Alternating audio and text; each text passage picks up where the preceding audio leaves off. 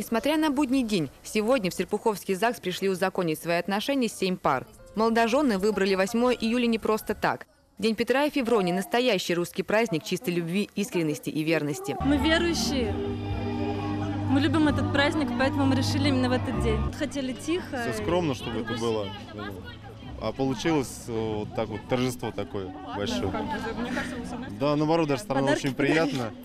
Э, Такой приятный сюрприз. Это русские традиции, мы их почитаем и стараемся сохранить их. Для крепкости именно совместной жизни, то есть чтобы все было, так скажем, крепче. Необычный свадебный квест, подготовленный при содействии администрации города, приятная неожиданность для гостей праздника.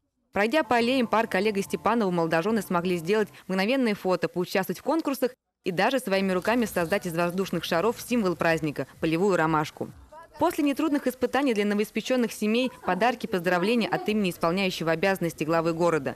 Ну и, конечно, в финале самый трогательный момент – выпущенные в небо белые голуби. Сегодня эти качества жизни, милосердие, сочувствие, верность, преданность, самоотдача, они в семье очень важны. И, конечно, для государства институт семьи, он тоже очень-очень важен. И в этот день э, мы с сегодняшним нашим молодоженам, конечно, хотим напомнить об этих, в общем-то, вечных э, чувствах, вечных истинах.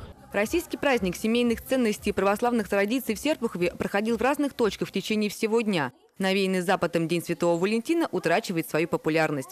С каждым годом все больше жителей города выбирают историю Петра и Февронии образцом взаимной любви и верности. И вполне возможно, что в скором времени этот день в стране сделают законным выходным. Соответствующее предложение уже поступило в Госдуму. Ася Климова, Александр Поваляев, Владислав Клюмякин. Общественное телевидение Подмосковья.